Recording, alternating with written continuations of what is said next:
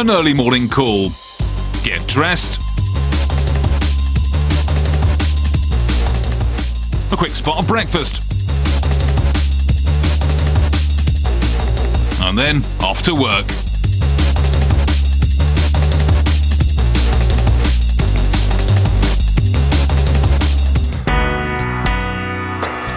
How the day starts in Jelle van Dun's world. The technique is called stop motion, and the young Dutchman uses it to turn his daily life into animated film.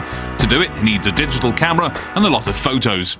I'm doing stop motion films uh, since I was 15, about uh, 11 years ago. Uh, I started with clay uh, figures, uh, animated uh, a little bit. I have to see something in it to which I can Uh, translate into something else, another, another feeling.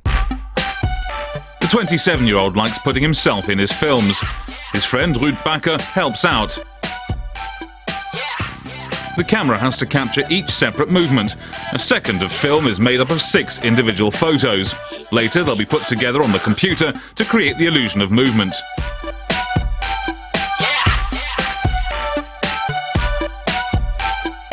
The best thing I like about it is that it's made with without a budget and so simple with just a still camera. Um, that may, it's like you can do it at home or everywhere you want to do it, you can do. And you can watch the film just about anywhere too. My Animated World is a real internet success. It's found enthusiastic fans and imitators worldwide. There are now numerous films done in a similar style. Many filmmakers are paying homage to the Dutchman, but Jelle has taken his art one step further. Because of the success on YouTube, uh, I started my own company to make uh, these animation films also for uh, other companies and uh, Dutch television, also companies in uh, uh, in abroad. So this one is for a German dating site. Um, I didn't I didn't think it would happen to me that I could make make money out of it, but um, I, I'm doing it now and it's it's really great to do.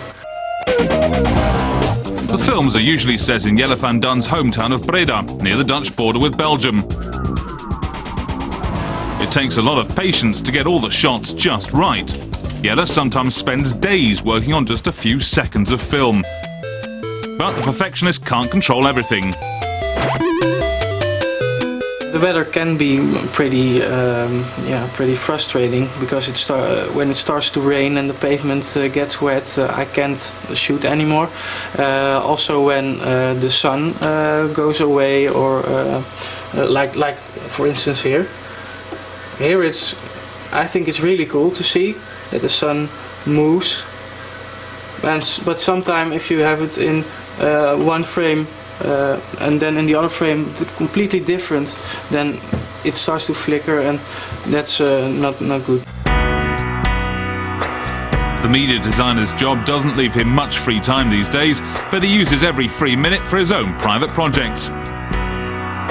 In his latest film, a piece of tape, or is it a caterpillar, sets off in search of true love. It's a long and hazardous journey, But eventually, there is a happy ending.